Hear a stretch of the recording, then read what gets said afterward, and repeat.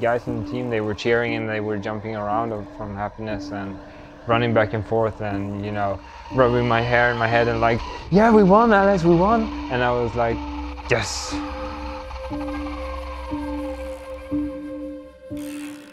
Formula Student, uh, it's a competition format for engineering students. In this competition, each team is under sort of a fictitious development contract to develop a so-called weekend autocross racer. So even though it is a race car, uh, it's uh, very much an engineering competition. Last year we built our two-wheel drive car and we went to three competitions and uh, in uh, Austria we finished on third position overall.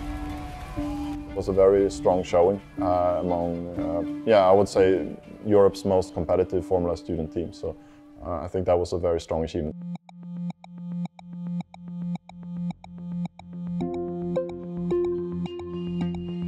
In CFS 19, this is the first time uh, we are coming up with a four-wheel drive car. Uh, it is the first of its kind for Formula Student in all of Sweden. Chalmers Formula Student is currently 12th in the, the world ranking. Uh, we hope they can maintain that position for the coming season.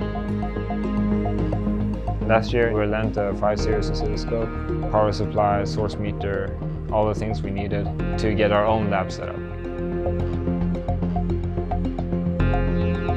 Yeah, if the Tektronix equipment was taken away, we would encounter a lot more uh, surprises in the actual assembled car. Things you build, the things you spend so much time, the moment you see them all working magically and you get the result you want, the wheels are turning, and you know all the things that must go right for that to happen, I mean, that, that just makes you so happy.